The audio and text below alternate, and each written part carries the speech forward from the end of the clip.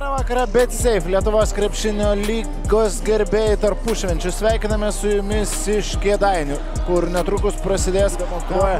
O puikų žaidimą strigo jis sezono pradžioje, kėlė nemažai klausimų jo a, situacija Vilniuje, tačiau dabar prasideda, kai reikia atlikti pirmosius pakeitimus. A, Startime penketę, čia Geitas Radzevičius, koridorius jam. Dabar jau ryto pusėje. Ajai, neapdairus. Lavrinovičiaus perdavimas čia, Gytis Radzevičius savo stiprybėje, tranzicija, dėjimas iš viršaus. Ir kol kas be taškų šis gynėjas, Margeris Normantas. Masiuliui atgal šis iš trijų taškų zonos ir Gytis Masiulis dėkoja už šį perdavimą. Žagaras. Žagaras yra pavojingas ir iš tolimo sukurti vienos atakos metu. Varadė.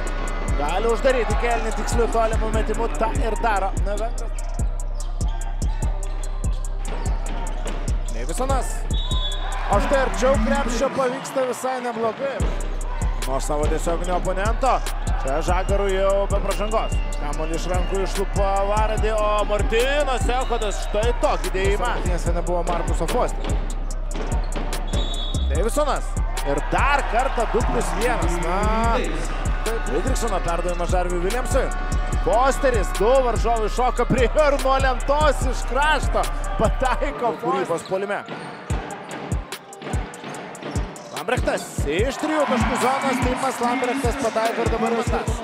Dar vienas netikslus metimas ir ištraukia kamolį Normantas pasiaukojančiai žaidžia Vilniečiai. Ir kūrėsi papildomų šansų šios atakos metu, o tą papildomą šansą išnaudoja Markusen. Žagras.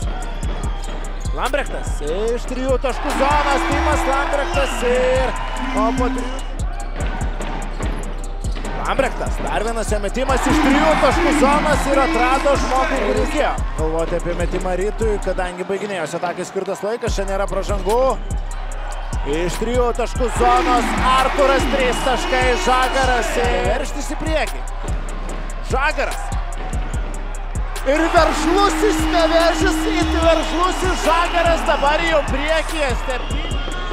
Fridriksonas. Gytis Masiulis iš trijų taškų zonos ir labai, labai reikalingas tritaškis Varadis. Prieš jį Danielius Lavrinovičius Žarvis Viljamsas ir puikiai ryto ataka. Atvės kol kas nieko susikurti nepavyko. Žagaras iš trijų taškų zonos. Netaikliai kas bus su kamoliu Žarvis Viljamsas. Rytas iškovoja pergalį ir kaip triumfuoja Jarvis Williamsas. Norėjo, labai norėjo rytas šios pergalės prieš Kedainių klubą.